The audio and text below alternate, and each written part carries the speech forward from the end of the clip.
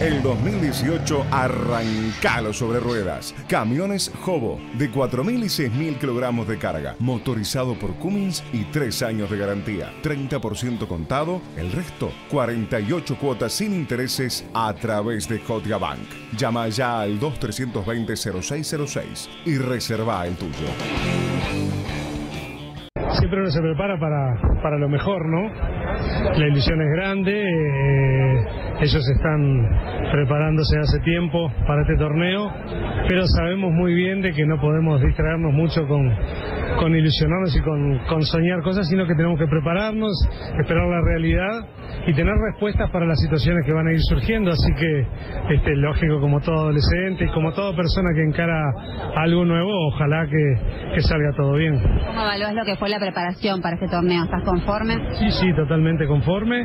Se dio de acuerdo a lo que habíamos imaginado antes de que iniciara en cuanto a la llegada de los futbolistas, a la preparación, al lugar donde estuvimos, cómo se fueron dando las cosas y solamente algún contratiempo menor con algún tema de, de alguna lesión que llevó algunos días que algunos futbolistas no pudieron entrenar, pero todo, todo en orden. Fabián, ¿qué importancia tiene el debut, el primer partido con Perú, eh, justamente en un campeonato en donde empezar bien eh, se vuelve generalmente fundamental para lo que viene después?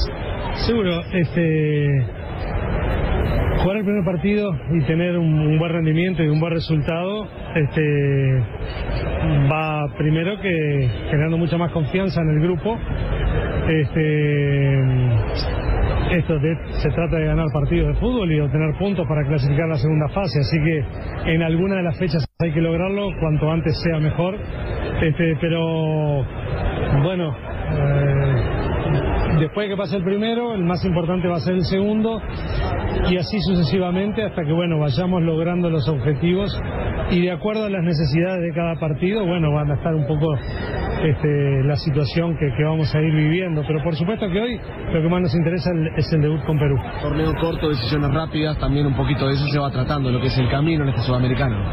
Y ahora se trata de jugar, recuperarnos, preparar el partido, volver a jugar y otra vez el mismo ciclo. Este, que es enfrentar los partidos en las mejores condiciones posibles. Eh, ellos lo tienen claro, algunos ya han vivido, no sudamericanos, pero torneos parecidos, donde se juega muy seguido y donde no hay mucho tiempo a quedarnos pensando en lo que pudo ser y no fue. Así que rápidamente hay que preparar lo que tenemos por delante. Fabián, ¿qué, qué diferencias encontrás entre el, el anterior proceso, el que salió campeón, y, y este? ¿Cuáles diferencias puedes encontrar en lo futbolístico, en el potencial de los jugadores? Son dos, dos este, selecciones diferentes. Eh, para encontrar diferencias tendría que comparar y, la verdad que no he comparado mucho. Yo nos dedicamos, como respondíamos, respondía recién, a planificar, a preparar, a, de acuerdo a nuestra experiencia y a lo que creíamos conveniente armar una planificación y se ha dado. En ese sentido ha sido muy similar a lo que fue el anterior, que de acuerdo al tiempo que teníamos, a los futbolistas, a, a lo que pensábamos, también planificamos y intentamos llevar adelante la planificación. Habían- eh, recién hablábamos con Juan Manuel Sanabria, con Sebastián Cáceres y ambos coincidían en lo que vos le- les habías pedido, tranquilidad y disfrutar justamente del sudamericano. ¿Pasa por ahí tu pedido a los jugadores para esta oportunidad? Sí, muchas cosas. Pero digo, para poder llevar adelante un, un buen funcionamiento, creo que hay que estar este, tranquilo y, y en un buen clima. Y un buen clima se logra cuando, cuando uno está en un lugar cómodo y eso permite dar el máximo de cada uno y a veces dar hasta un poco más de lo que uno puede. Esa es la intención nuestra como entrenadores, desde lo futbolístico, de lo humano, desde lo grupal. Después, bueno, armar una estrategia para jugar partidos de fútbol y, repito, todo debe ser llevado adelante con mucha confianza, que, que consiste un poco en eso, en disfrutar, en estar tranquilos para poder lograr un buen rendimiento. En materia de resultados, ¿qué es hacer un buen sudamericano? Eh, vamos a ganar partidos de fútbol y llegar lo más arriba posible. Está en juego el campeonato, está en juego la clasificación a los Panamericanos, está en juego la clasificación al Mundial.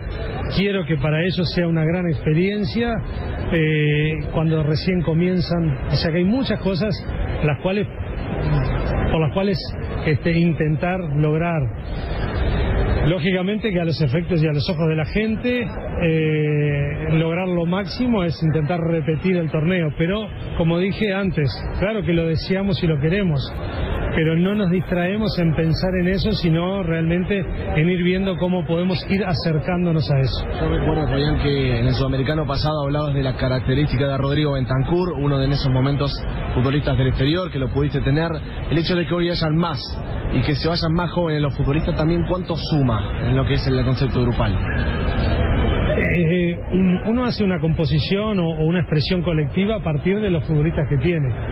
Antes eran muy pocos del exterior, hoy son muchos y, y bueno, hay que intentar dar, formar rápidamente un grupo y que cada uno, como hablaba recién, pueda dar el máximo de lo que tiene. Muchos se están formando en el exterior y tienen cosas para aportar.